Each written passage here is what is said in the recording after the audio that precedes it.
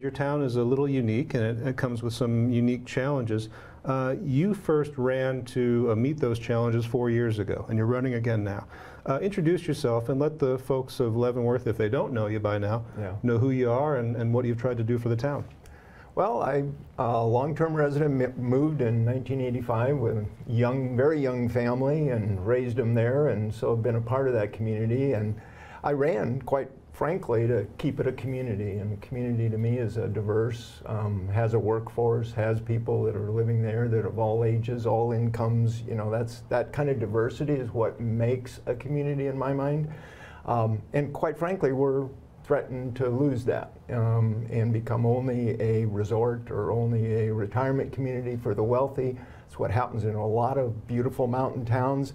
Um, I'm not willing to see us go that route without a fight. So I got involved to, to try to keep us a, a whole community. What are your pursuits and your profession beyond the mayorship, Carl?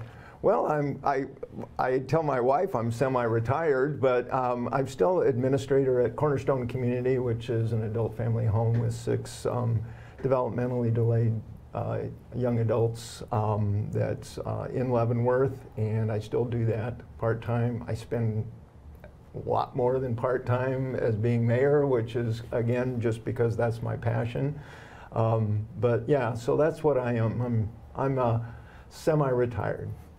What's the state of Leavenworth right now from your perspective? If you were giving an address, this is the state of our city, what would you say? I would say we're, we're healthy in some ways and we're struggling in others. And that's, you know, we have, um, as you say, we're very unique. We're 2,500 people, which by the way, that's, that's only grown in the last few years. It was 2,000 when I came and 2,000 when I left the first time, and now um, still was roughly 2,000. Um, big addition was the addition of the apartments behind Safeway, the Leavenworth House added um, a significant chunk as well as, but a lot of the housing that we've created have become second homes. So, you know, we were, we were treading water, I guess, in terms of the size for a long time. But so we're 2,500 now, and we've got issues that deal with 10 times that size. So, you know, those are the unique challenges. Um, and like I said, I want to keep us a whole community, so that's a unique challenge. Um, keeping that balance between a strong business, but also a strong, you know, vibrant residential. So trying to keep that balance in place. And so really focusing on some of the things that, that'll enhance it for the residents as well. Well, talk about some of the enhancements that you've tried to pursue. What kind of projects have you taken on and what kind of success have you had?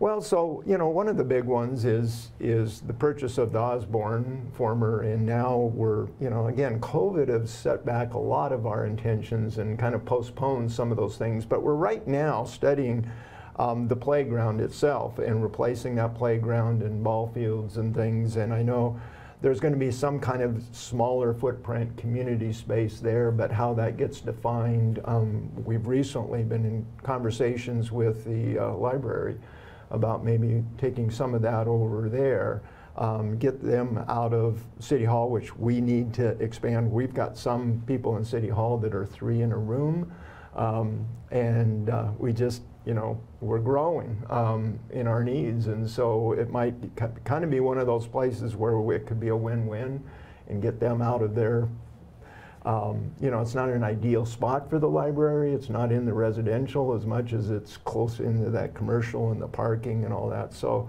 you know, we're we're just in the opening discussion stages of that, but but that would also give us a, a way to have some community spaces and community rooms as well. Housing that was affordable for people who work in Leavenworth. This was a big uh, pillar of your campaign in Yeah, 2019. yeah. Still is. and you've, you've tried to make some inroads in that area. We do see greater density coming to neighborhoods. We see accessory dwelling units going into neighborhoods.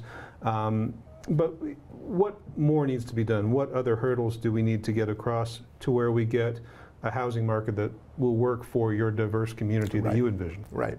So, you know, and that density is, is one piece of the puzzle, but density, increasing that density, and I, I say this kind of facetiously, but it's also, there's truth to it. So if we say instead of having one home here, we're going to have two, we could just be creating two homes to be second homes for the other side. And they'll be somewhat less expensive, but not, quote, affordable. So that increasing density in and of itself is only one part of the solution. A key part, critical part, is having a funding stream that you can also bring to the table to say, okay, now these lots and these homes are ours. They're for our workforce. The only way in this society that I know that you can, you can demand that is bringing money to the table.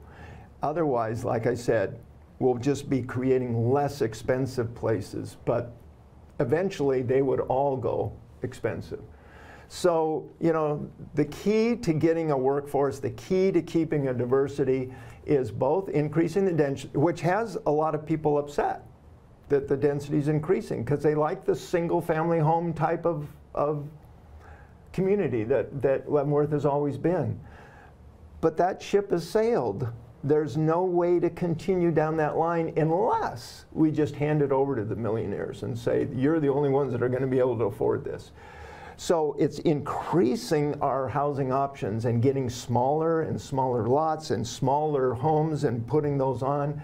Um, some cottage homes, some tiny homes, some, some condos, some, you know, cottage housing, um, all kinds of different than, than what is typical for a small town. But it's the only way, because the other thing that's changed, not only is land and everything, but just construction costs have just skyrocketed.